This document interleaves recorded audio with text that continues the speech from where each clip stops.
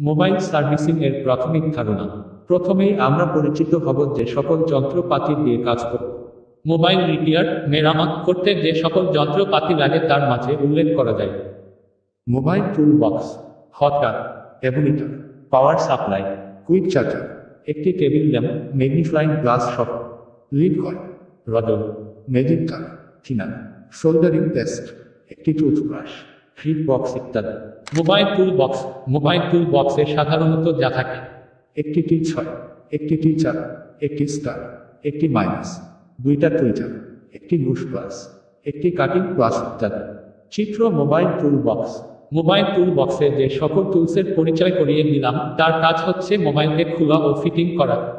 আর হটগানের কাজ হচ্ছে মোবাইলের আইসি উঠানো বসানো শোল্ডারিং জ্বালাই করা ইত্যাদি। মোবাইলের কাজ করতে আমাদের কারেন্ট ব্যবহার করতে হবে, তাই কারেন্ট সম্পর্কে আপনাদের ছোট একটা ধারণা দেয়।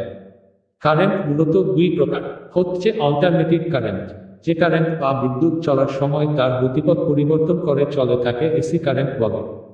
হচ্ছে ডিরেক্ট কারেন্ট যে কারেন্ট বা বিদ্যুৎ চলার সময় তার গতিপথ পরিবর্তন করে না, একমুখী হয়ে চলে, তাকে ডিসি কারেন্ট বলে।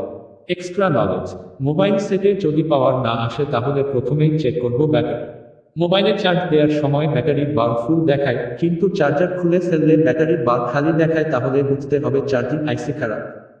মোবাইলে চার্জ দেওয়ার সময় যদি চার্জ হতে সমস্যা করে, চার্জ একবার হয়, আবার হয় না, তাহলে প্রথমে চার্জার ঠিক আছে কিনা দেখব। ধন্যবাদ সবাইকে।